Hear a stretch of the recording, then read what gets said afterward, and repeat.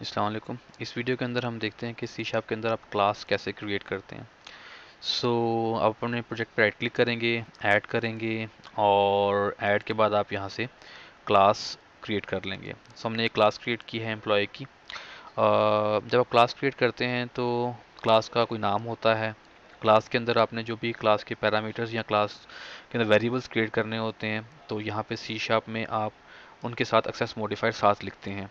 सो हमने यहाँ पे तीन वेरिएबल क्रिएट किए हैं बताया कि तीनों वेरिएबल पब्लिक टाइप के हैं। एक इंटीजर आईडी है एज है और नेम है। फिर हमने इस, इसके अंदर एक कंस्ट्रक्टर लिखा है। तो कंस्ट्रक्टर क्या होता है? कंस्ट्रक्टर बेसिकली एक फ़ंक्शन होता है जिसकी रिटर्न टाइप नहीं होती और उसका नाम क्लास के नाम से मैच करता है। और ये ऑटोमेटिकली कॉल होता है, इसे आप कॉल नहीं कर सकते। तो हमने एक डिफ़ॉल्ट कंस्ट्रक्टर लिखा है, ऐसा कंस्ट्रक्टर जिसमें कोई पैरामीटर रिसीव नहीं हो रहे तो ये डिफ़ॉल्ट कंस्ट्रक्टर है और हमने यहाँ पे भी मैसेज प्रिंट किया है। फिर हमने एक पैरामीटराइज कंस्ट्रक्टर लिखा है। पैरामीटराइज का मतलब ये कि कंस्ट्रक्टर है, लेकिन इसके अंदर पैरामीटर्स आ रहे हैं। तो हमने कहा कि ये कंस्ट्रक्टर तीन पैरामीटर ले रहा है और हमने जो भी पैरामीटर यहाँ पास किए होंगे, उनको हमने अपने वेरिएबल्स में असाइन कर दिया है और एक मैसेज प्रिंट कर दिया है। पैरामीटर कंस्ट्रक्टर इज़ एग्जीक्यूटेड एक फ़ंक्शन बनाया हमने, ये भी पब्लिक फ़ंक्शन है और पब्लिक फ़ंक्शन है और इसके अंदर हमने बेसिकली शो का फ़ंक्शन का नाम है और जो हमारे ये तीनों पैरामीटर्स हैं, उनको हमने प्रिंट किया है।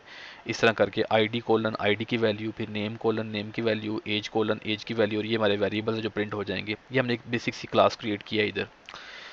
ये क्लास क्रिएट करने का संटेक्स है। उसके बाद हमने एक क्लास बनाई है।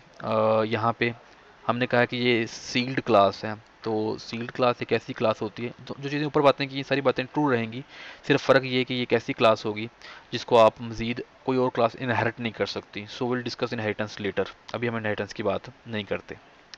अब इस क्लास को इस्तेमाल कैसे करना है? अब मैं आता हूँ अपने प्रोग्राम वाली फ़ाइल के अंदर मेन मेथड के अंदर। सो यहाँ पे थोड़ा सा चीज़ वही जो पहले हम डिस्कस की एक्सप्लेन की गई है कि सिस्टम क्या चीज़ है, एक नेम स्पेस है, और कंसोल हमारी क्लास है। उस नेम स्पेस के अंदर और राइट लाइन एक स्टेटिक मेथड है बिकॉज़ आप क्लास के नाम के ज़रिए कॉल कर रहे हैं तो वही कंसेप्ट जो आप सी प्लस के अंदर पढ़ के आए हैं कि स्टैटिक मेथड को हम क्लास के नाम के ज़रिए कॉल कर सकते हैं। अब यहाँ पे पहला फ़र्क शुरू होता है कि सी प्लस प्लस के अंदर अगर मैं ये सिंटेक्स लिखता हूँ तो इससे मेरा एक ऑब्जेक्ट बन जाता है। लेकिन यहाँ पर ये चीज़ डिफरेंट है। यहाँ पर जब आप ये लाइन लिखेंगे इतनी लाइन लिखेंगे तो आपने यहाँ पर एक रेफरेंस वेरिएबल या रेफरेंस पॉइंटर क्रिएट किया है, जिसकी टाइप एम्प्लॉय है।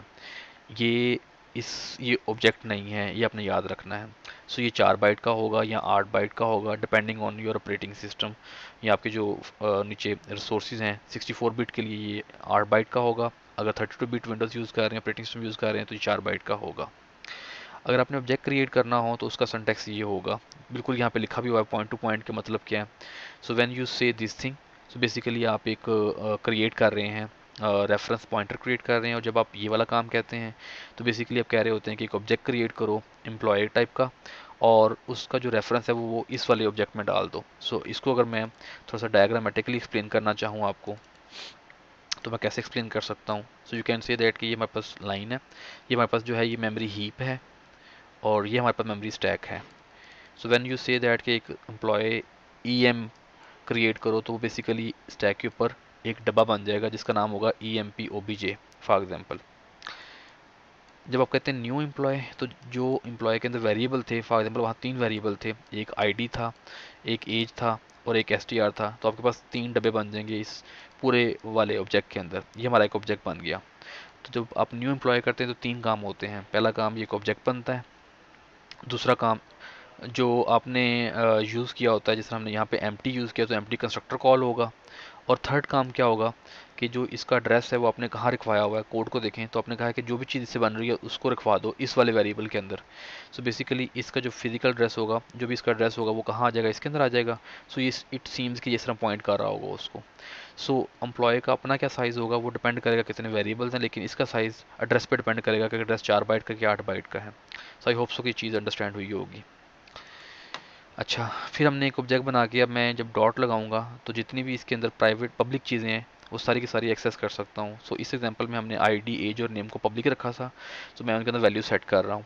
तो अगेन जब मैं ये चीज़ कह रहा हूँ तो इसका मतलब ये है कि ये E M P O B J जिस ऑब्जेक्ट को पॉइंट कर रहा है उसके अंदर जो आईडी वाला वेरिएबल है उसके अंदर वन रखवा दो। सो so, बेसिकली ये वन यहाँ पर आ जाएगा।